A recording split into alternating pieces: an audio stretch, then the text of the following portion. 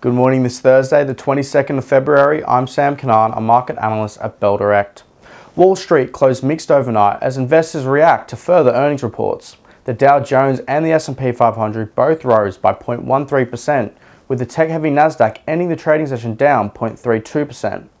Over in Europe, markets closed slightly lower as markets failed to gain any positive momentum. The Stoxx 600 closed 0.2% lower, with the majority of sectors ending the trading session in the red. Losses were led by banks, which saw a fall of 1%, but this was slightly offset by autos, which saw a rise of 1.6%. Germany's DAX and the French CAC both gained 0.29% and 0.22% respectively, whilst over in the UK the FTSE 100 lost 0.73%. Locally yesterday the ASX 200 closed 0.66% lower, with losses led by the consumer staples sector which fell 4.26% by the closing bell. This was slightly offset by the information technology sector, which saw a rise of 2.23% by market close. And in some other big news locally yesterday, Woolworths CEO Brad Banducci stepped down amid a food price review, with Amanda Bardwell appointed as the new CEO. As for what's watched locally today, the Australian share market is set to open lower, with the SPI future suggesting a fall of 0.42% at market open this morning.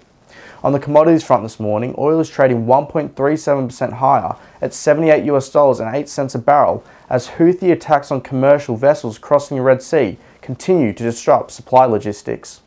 Gold is up 0.08% to 2025 US dollars an ounce, and iron ore is trading 3.86% lower as new surveys are showing that new home sales in China have plummeted 34% since January last year.